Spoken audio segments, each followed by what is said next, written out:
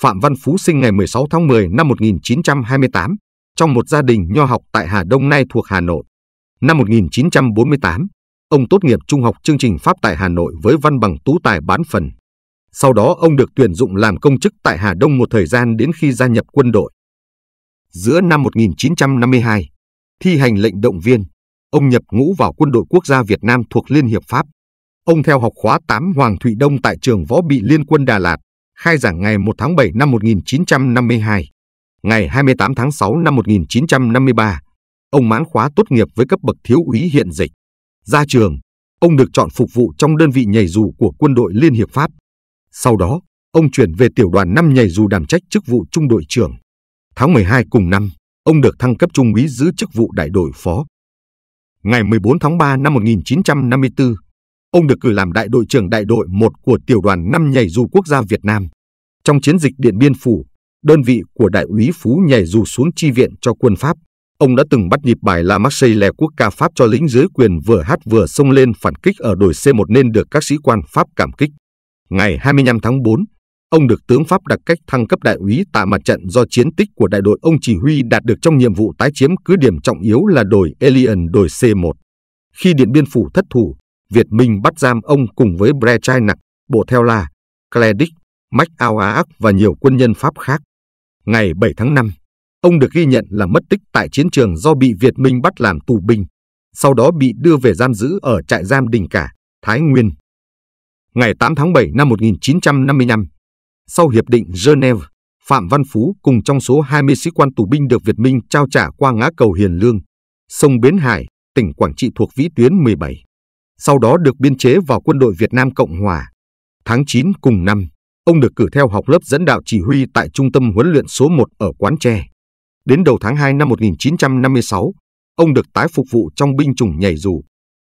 Giữa tháng 1 năm 1960, ông được biệt phái qua đơn vị Bảo An, giữ chức vụ tỉnh đoàn trưởng Bảo An tỉnh Kiến Phong.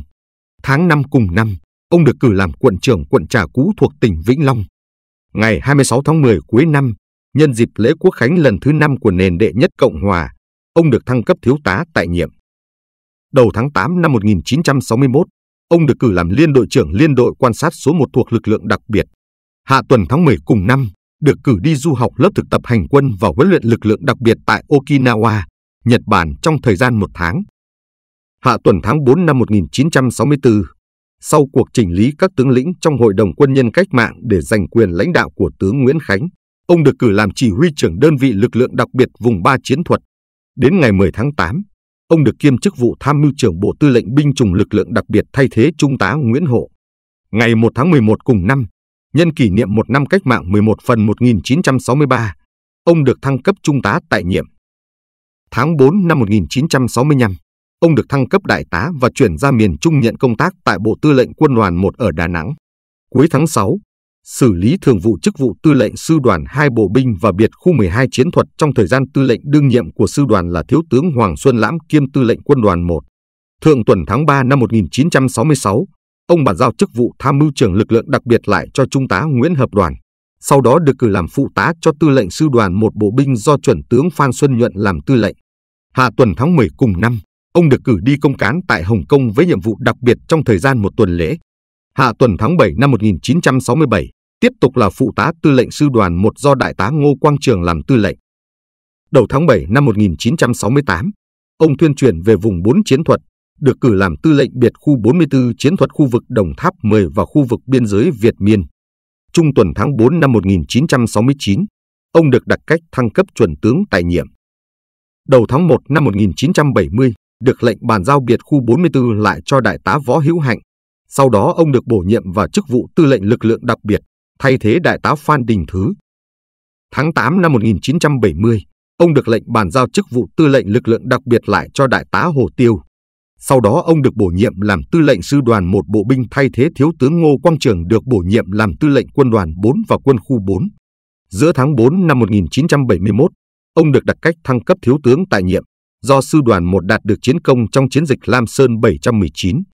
Sau đó, ông được cử làm trưởng đoàn hướng dẫn phái đoàn gồm 25 quân nhân các cấp có chiến tích ở Hạ Lào đi thăm viếng Trung Hoa Dân Quốc Đài Loan. Trung tuần tháng 9 năm 1972, ông xin từ nhiệm để dưỡng bệnh sau khi bàn giao sư đoàn một lại cho đại tá Nguyễn Văn Điểm nguyên tư lệnh phó sư đoàn. Đầu năm 1973, ông được chỉ định làm chỉ huy trưởng trung tâm huấn luyện Quang Trung thay thế thiếu tướng Đoàn Văn Quảng. Đầu tháng 11 năm 1974, ông bàn giao trung tâm huấn luyện Quang Trung lại cho thiếu tướng Trần Bá Di nguyên tư lệnh phó quân đoàn 4. Ngay sau đó, ông được bổ nhiệm làm tư lệnh quân đoàn 22 và quân khu 2 thay thế trung tướng Nguyễn Văn Toàn. Đầu tháng 3 năm 1975, chiến dịch Tây Nguyên của quân giải phóng miền Nam nổ ra.